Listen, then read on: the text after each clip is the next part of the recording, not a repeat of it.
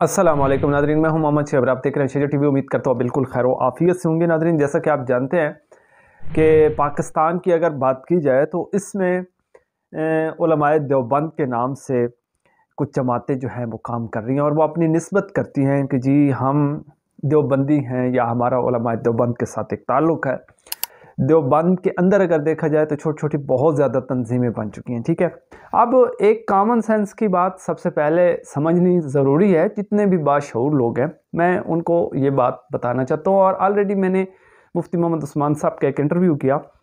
اور بزرگوں کے نام پہ عموماً یہ کچھ خود جو اشاعت و توحید و سنت سے تعلق رکھنے والے لوگ ہیں، وہ بھی اور حیاتی جو ہیں، جنہیں عام طور پر حیاتی کہا جاتا ہے، وہ وہ سارے لوگ ایک پروپے گنڈا کرتے ہیں تو میں اس کو بھی آج بے نقاب کرتا ہوں اور ایک ریالٹی، ایک حقیقت وہ بھی میں آپ کی خدمت میں رکھتا ہوں، ٹھیک ہے؟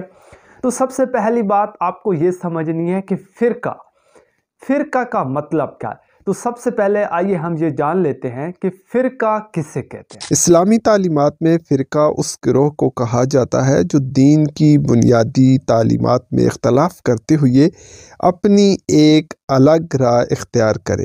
تو ناظرین جیسا کہ آپ نے جانا کہ فرقہ کا مطلب کیا ہے ٹھیک ہے؟ تو جس بندے کا یا جس جو بھی تنظیم ہے جماعت ہے جس کا عقیدہ نظریہ سوچ فکر وہی ہے جو قرآن و سنت سے ماخوذ ہے تو اس کو ہم فرقہ نہیں کہیں گے۔ جو اپنے عقائد اور نظریات خود تراشے گا تو اس کو ہم فرقہ سے ڈینوٹ کریں گے۔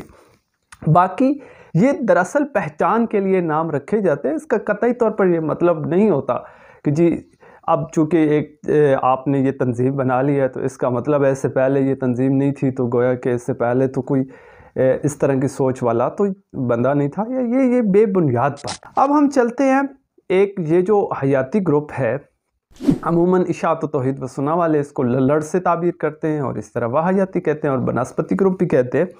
ان کا جو عقیدہ اور نظریہ ہے وہ بھی ہم دیکھیں گے۔ اور پھر اشاعت و توحید و سنہ کے بزرگوں کی طرف سے ایک جو تحریر آئی تھی سن باسٹھ میں، جس کو بعض اشاعتی بھی اور حیاتی تو بلوموں اس پہ پروپیگنڈا کرتے ہیں، وہ بھی میں آپ کی خدمت میں رکھوں گا۔ تو ان کی ایک کتاب ہے جی خوشبو والا عقیدہ۔ سب سے پہلے تو آپ یہ دیکھ لیجیے کہ اس پہ کن کن بڑی بڑی شخصیات کی تقاریز موجود ہیں۔ تو ناظرین، جیسا کہ آپ نے جانا کہ کن اہم ترین اور بڑی بڑی شخصیات کی تقاریز ہیں، اب اس کے کچھ صفحات، ٹھیک ہے؟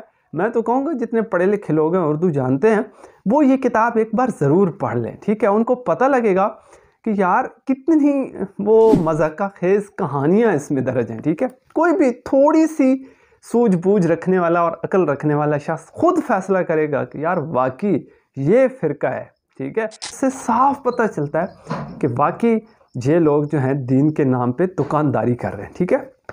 تو صفحہ نمبر ستاون ہے۔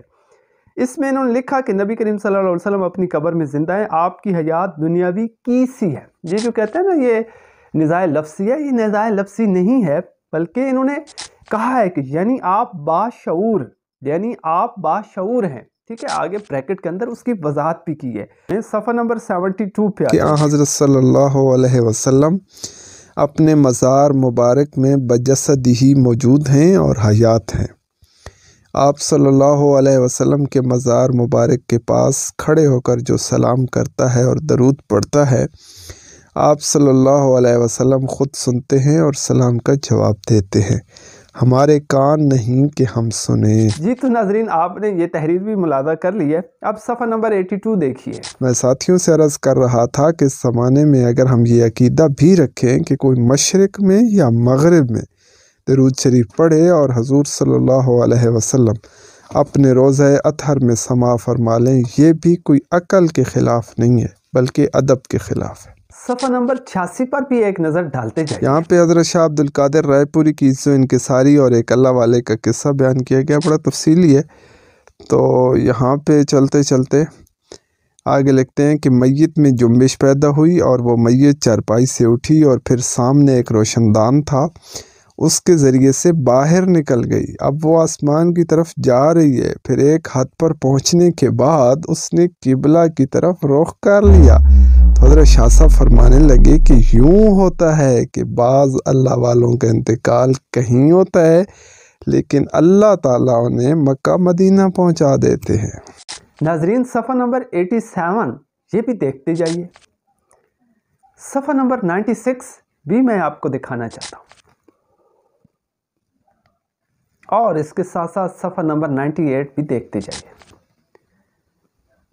تو گویا کہ اگر آپ اس پوری کتاب کا مطالعہ کریں، تو سوائے قصوں کے، کہانیوں کے اور جھوٹی روایتوں کے آپ کو اس کتاب میں اور کچھ نہیں ملے گا، ٹھیک ہے؟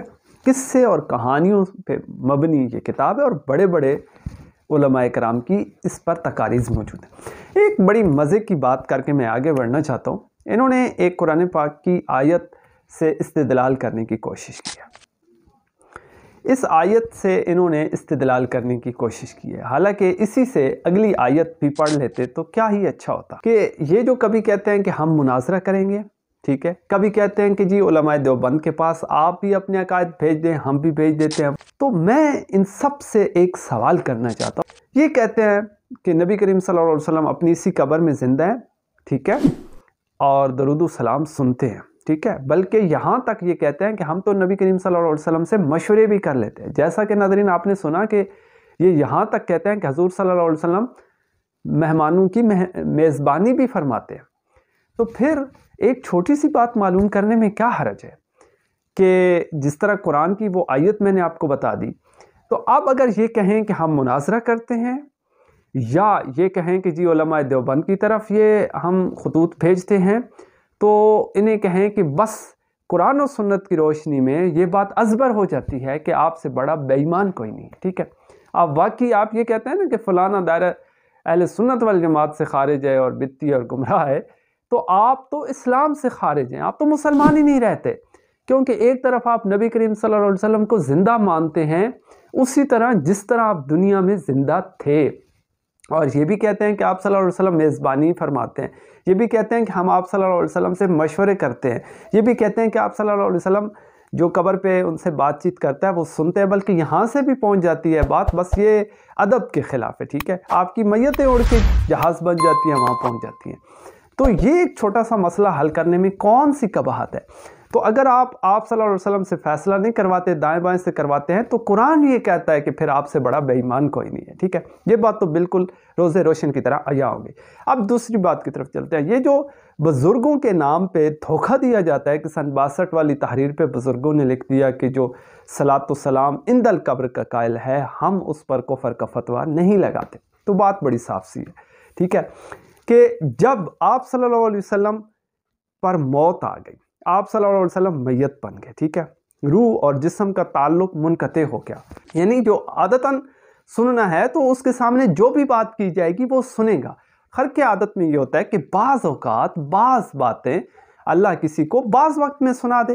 اور یہ بھی پھر اللہ ہی جانتا ہے نا کہ کب کس کی کیا بات وہ سنوا دے، ٹھیک ہے؟ یہ تو پھر قرآن خود کہتا ہے کہ اللہ جسے چاہے سنوا دے۔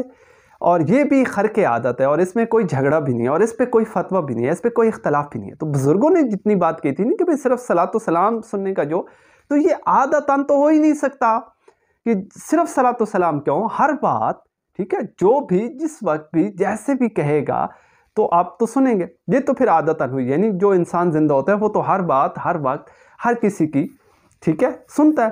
جو بھی اس کے پاس بیٹھ ہوتا ہے، بات کرتا ہے، اس کے کانوں سے ٹکراتی ہے، اسے پتہ چلتا ہے، وہ سنتا ہے۔ تو کبھی کسی کی کوئی بات سن لینا، کسی وقت ظاہر ہے، وہ بھی خاص بات۔ تو جب یہ اتنی قیدیں لگا دی ہیں، تو اس سے صاف مطلب پتہ چلتا ہے کہ یہ عادت ان تو ہو ہی نہیں سکتا، یہ خر کی عادت ہے اور خر کی عادت پہ اب بھی اشاعت و توحید و سننا کے جتنے بزرگ موجود ہیں، علماء موجود ہیں، کوئی بھی فتوہ نہیں لگا وہاں جو بزرگوں نے کہا تھا، تو اس سے بھی نتیجہ اخذ ہو گیا، جب یہ قید لگ گئی نا، یہ قیدیں کیوں لگائی ہیں؟ جب عادتاً سننا ثابت ہو، تو پھر ہر چیز سنی جاتی ہے، ہر بات سنی جاتی ہے، ٹھیک ہے؟ تو یہ جو صرف صلاة و سلام اور یہ جو قید لگائی گئی ہے، تو اس کا مطلب ہے یہ خر کے عادت ہے، ٹھیک ہے؟ تو بزرگوں نے یہی سمجھ کے کہا کہ جی اس پہ فتوہ نہیں، اور بعد میں علماء کرام نے جید اور بڑے علماء کرام، بعض وہی جو اس وقت بھی موجود تھے، انہوں نے اس کی تشریح، توضیح، وضاحت کر دی کہ دیکھیں جی خر کے عادت، خرکن للعادہ، اس پہ کوئی فتوہ نہیں۔ لیکن جو عادتاً سننے کا قائل ہے، اس پہ تو فتوہ ہے، ٹھیک ہے؟ ان کی ایک دو کتابیں آپ پڑھ لینا، یقین جانیے آپ کے چودہ طبق روشن ہو جائیں گے۔ آپ پہ حقیقت روز روشن کی طرح یہاں ہو جائے گی۔ آپ کو سب پتہ چل جائے گا۔ بس میں آپ جتنے بھی پڑھے لکھے بادشاہ نیوٹرل قسم کے لوگ ہیں نا، وہ ذرا یہ ایک کتاب پڑھ لیں، ٹھیک ہے جی؟ نیٹ سے بھی آپ کو بآسانی مل جائے گی۔ اگر آپ قرآن کی بات مانیں گے، عقیدہ نظریہ قرآن والا ہوگا اور پیروی حضور صلی اللہ علیہ وسلم کی کریں گے، آپ صلی اللہ علیہ وسلم کی سنت کے مطابق زندگی گزاریں گے، تو تب آخرت میں نجات ہوگی، ورنہ تو کام بڑا مشکل ہے۔ تو اس لیے دیکھتے رہیے گا شجو ٹی وی۔ اور مفید اور انفارمیٹیو بلاگز آپ کو ملتے رہیں گے۔ مجھے دیجیے گا اجازت تو ہمیں یاد رکھیے گا۔ اللہ نے کے بعد